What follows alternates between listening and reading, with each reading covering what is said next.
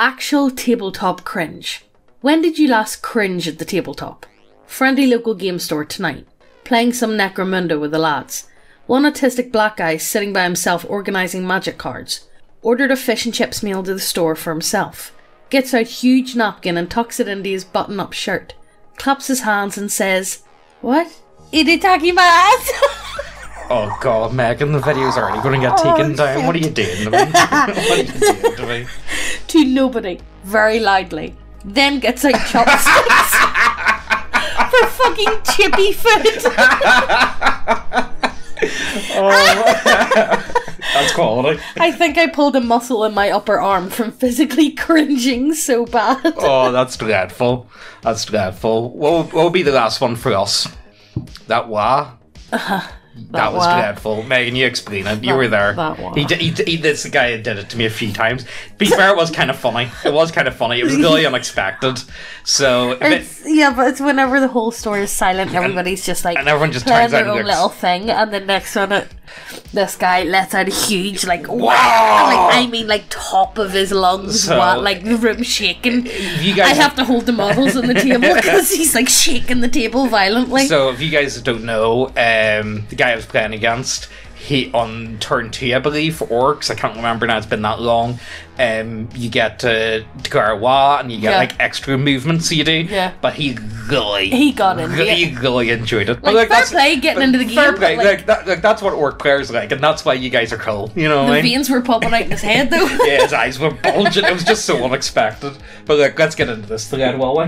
Last major cringe at tabletop was two years ago, when our then new DM had one of the female characters seduce a lesbian half orc to get her to sign a dating agreement with this other dude, so that dude would take us on a boat ride.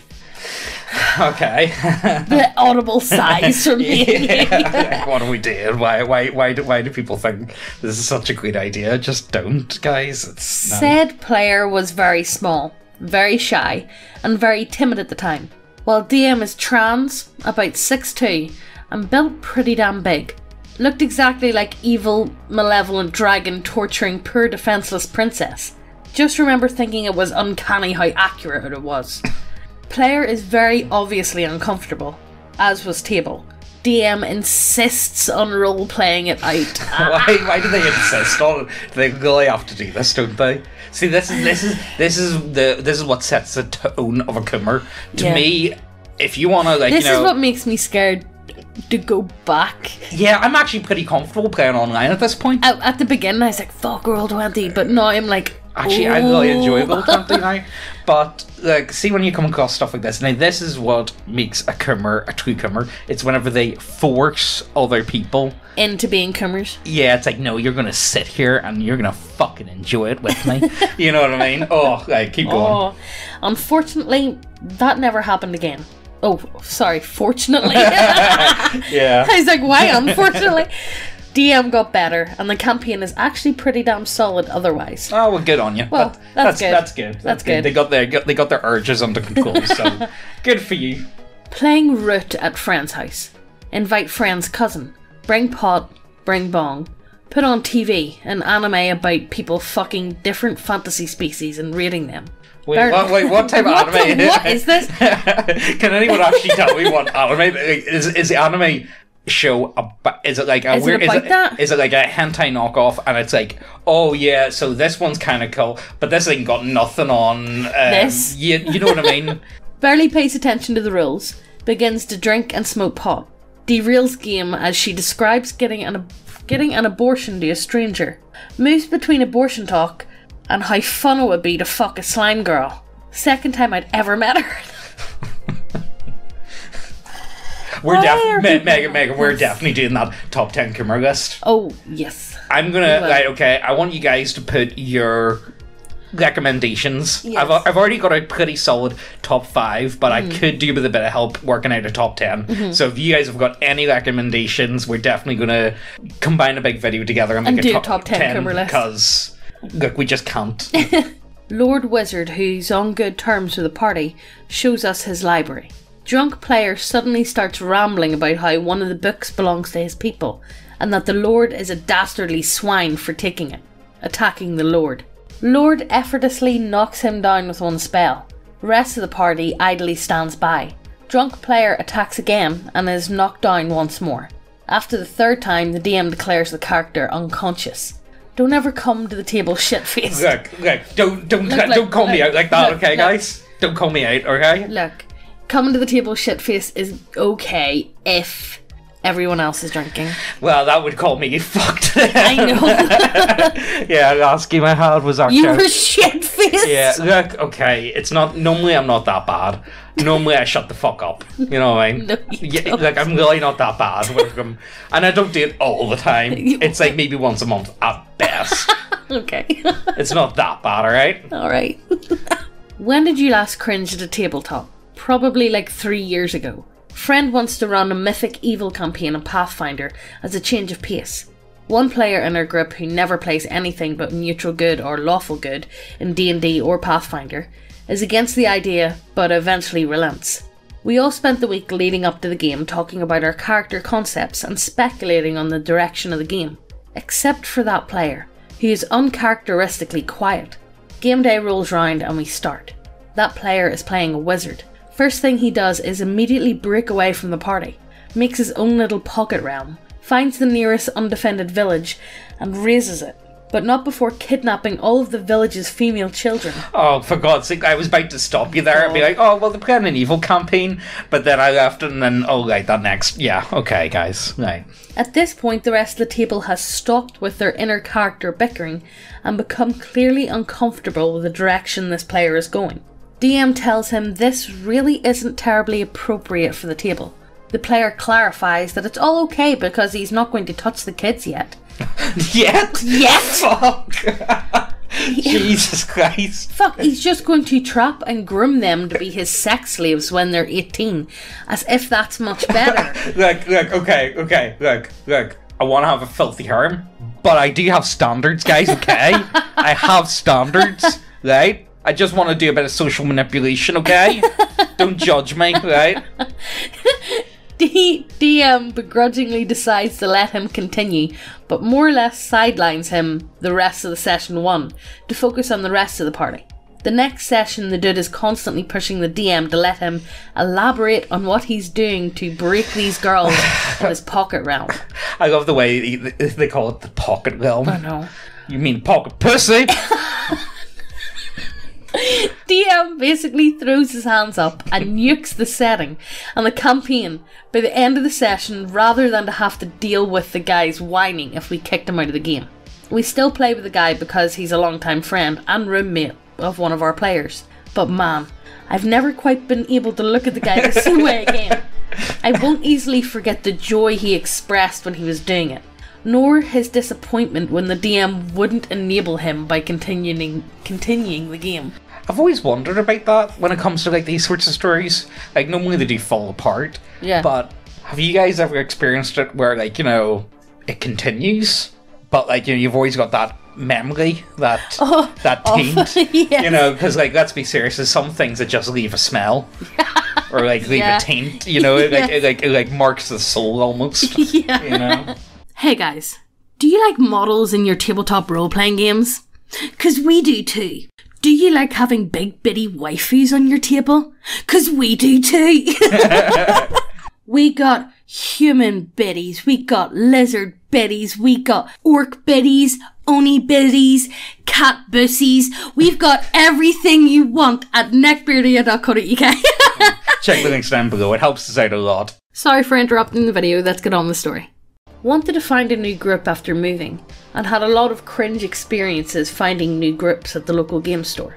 Mainly because I'm not used to being the least retarded person in the room, I relate to that. I fucking relate to that too hard. and it always left me feeling disgusted. Worst one was where this near elderly woman was trying to play a seductive archetype that her husband painfully made for her over four hours while we were sitting there.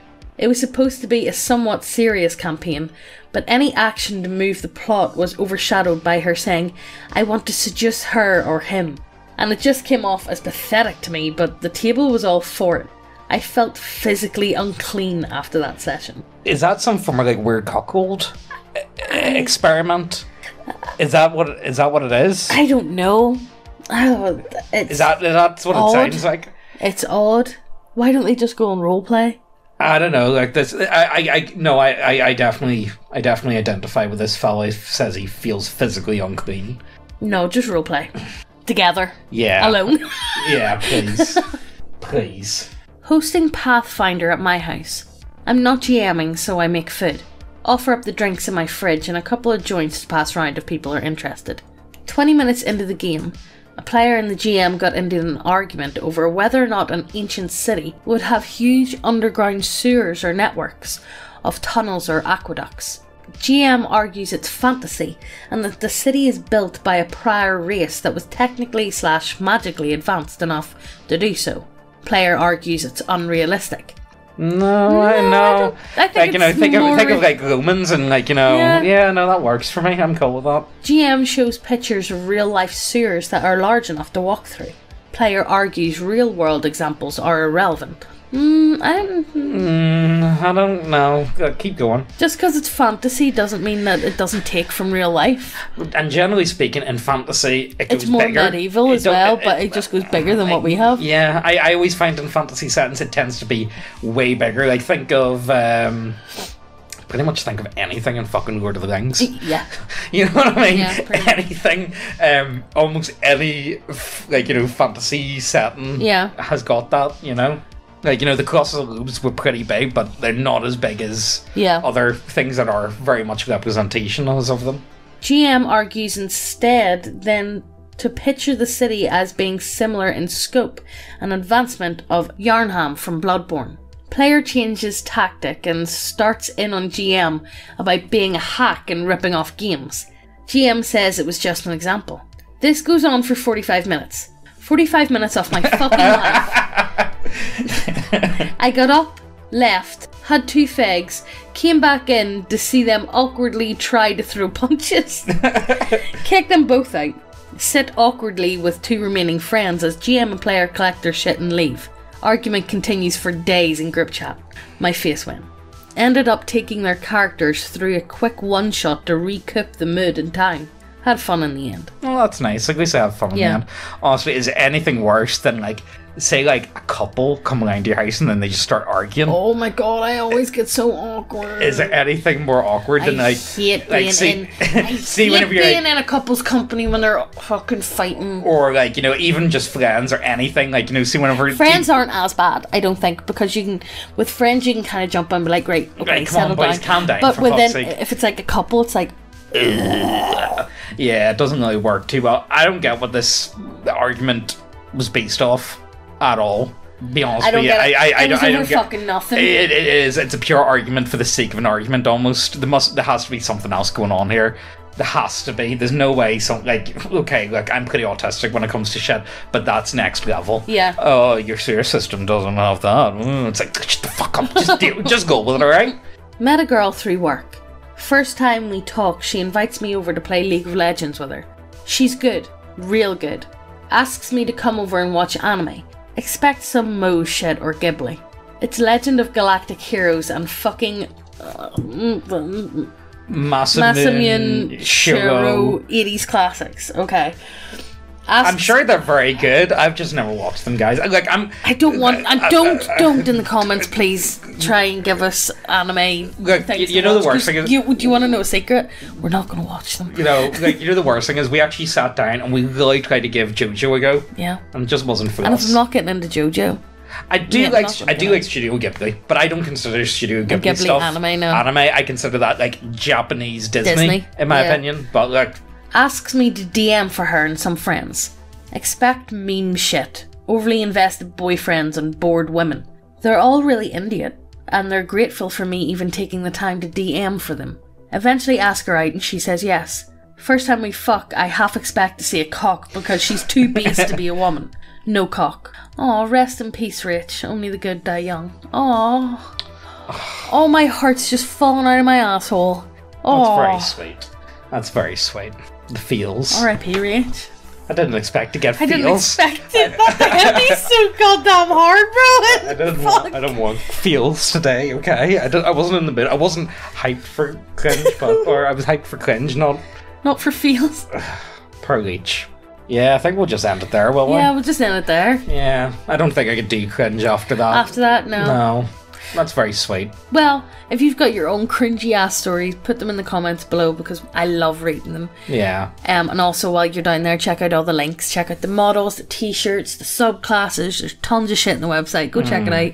Um, check out my channel while you're down oh there Oh yeah, Megan's got a channel. She, sh- you should be uploading. tomorrow. Tomorrow? either tomorrow or Monday. It's gonna be because I um have a baby scan tomorrow. Oh, yeah. So, it um, just it's either tomorrow or Monday. I'll post, but we'll, We'll find out. We're not Um, too sure But hit subscribe, hit the notification bell so you get notified every time we post, and we'll see you in the next video. Bye.